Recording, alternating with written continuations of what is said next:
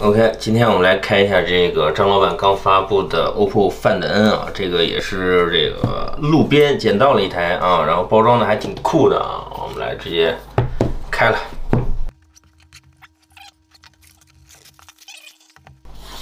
我们来看它，它这款是一种啊啊，应该是那种烫金的字啊，哟，哎，就现在比较流行那种设计啊，就是你看啊，这盒。我一打开，它这会推起，啊，还是蛮酷的啊。然后这边呢，从尝鲜到常用啊，啊，啊，就这儿。然后黑色的纸包的啊，一个充电头啊，三十三瓦充电头啊，啊，一堆卡。然后这边呢是数据线啊，就这些。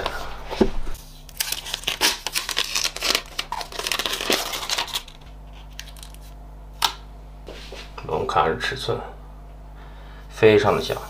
然后这个背面呢，也好像有点它这种就是微晶工艺那种，嗯，一闪一闪的啊，这个有点像 Reno 上那种感觉啊。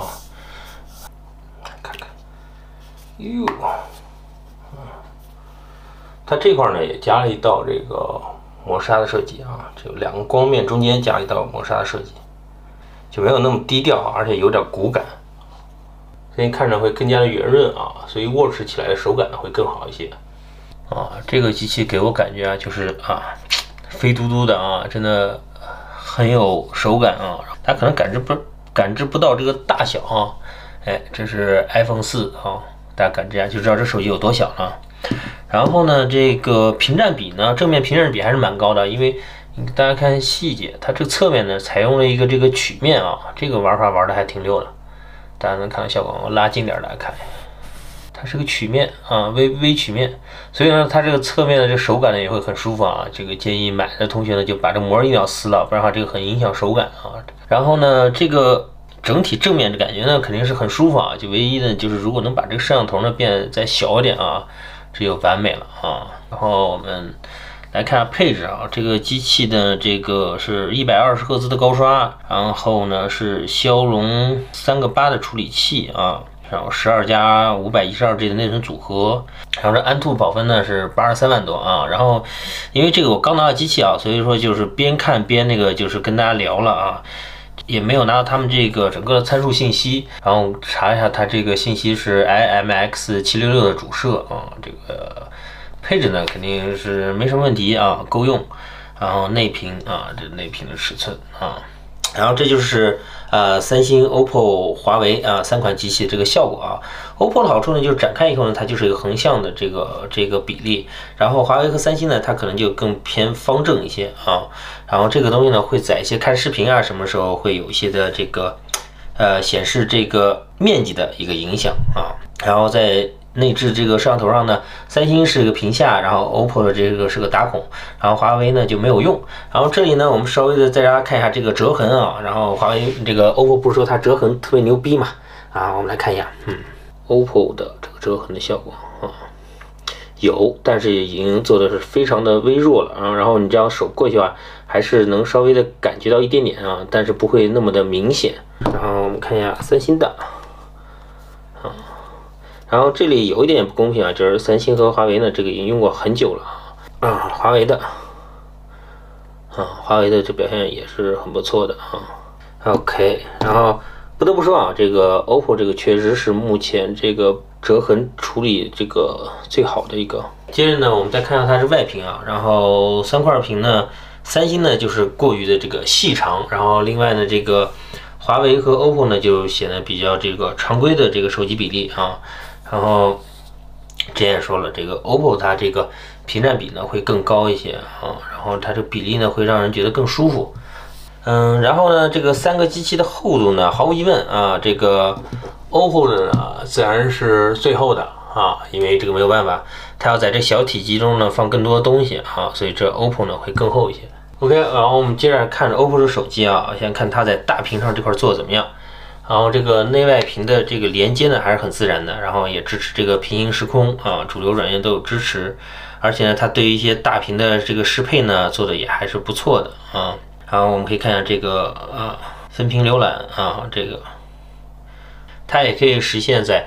多屏状态下呢，再加一个这个浮窗啊。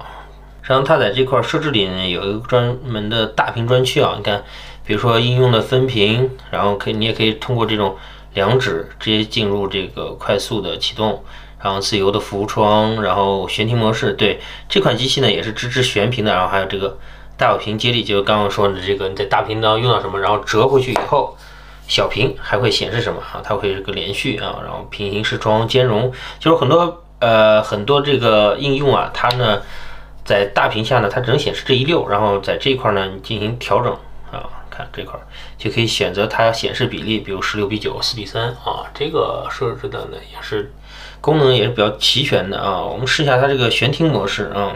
基本上是每个这个角度都可以悬停，但到这儿呢就啊，最大到这儿就弹回去了，这就是悬停模式啊。就这种情况下呢，你看电影呢就不需要支架了啊，就很方便，对吧？就这样。你可以这样看看电影，然后底下呢是一个可以控制进度条啊，调音量和亮度都在这一块屏就可以实现，然后这块屏就可以看啊，然后优酷啊什么都是支持的啊，所以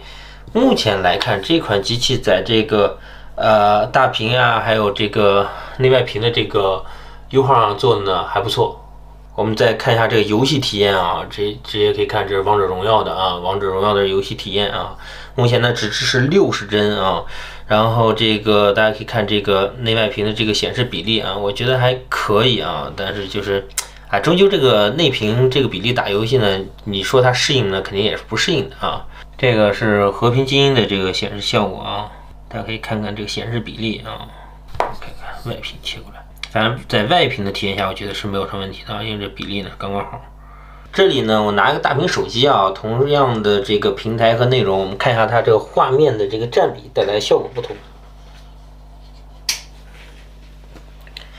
实际上呢，我们可以看出来啊，这个 OPPO 这款机子在内屏播放视频的时候，它的这个优势呢，确实跟大屏手机比呢，并不是特别的明显啊。因为终究它还是还是呃受到这个折叠打开后这个屏幕比例的一个限制。嗯，它的主要优势呢，还是在于看小说呀、看图片、看漫画啊，会有更大的优势。未来呢，就得看折叠屏它的内屏的这个比例，嗯，怎么样的去调整啊，才能解决这个哎。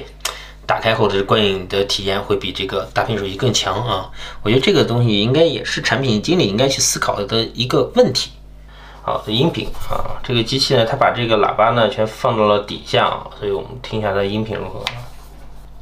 这个效果怎么样啊？我觉得还可以。然后，如果它的这个低音如果能再厚重一点啊，这个就完美了啊。然后它有一点啊，就是，哎呀，就是就。就是让人很很难受啊！就是当熄屏的时候，你必须得按这个电源键才能点亮屏幕啊！就是因为我习惯，因为这个音量键不是突出嘛，我习惯性摁音量键，这个时候呢屏屏幕就无法点亮啊！这这就好好难受啊！对啊，你必须得摁这个音量键啊！这需要一个习惯的一个过程啊。